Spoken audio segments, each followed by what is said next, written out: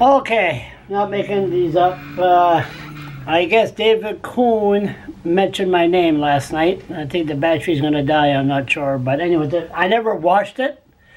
David Coon mentioned my name this morning during question period. And uh, this is the first time I watch it. Maybe the battery will die.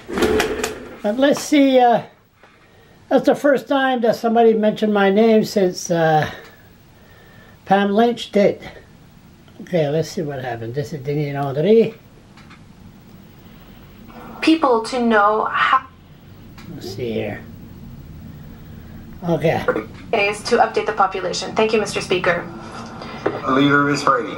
Thank you, Mr. Speaker, um, and thanks to the Premier for his uh, update uh, on the coronavirus.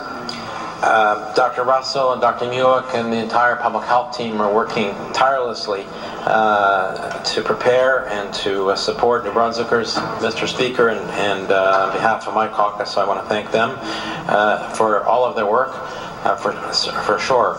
Um, particularly, it was very timely that uh, the Medical Officer of Health uh, put out her guidelines for uh, addressing ma mass gatherings the other, uh, just the other day, just yesterday, uh, which led us to make the final decision to uh, postpone the our party convention that had been planned for this weekend in Fredericton.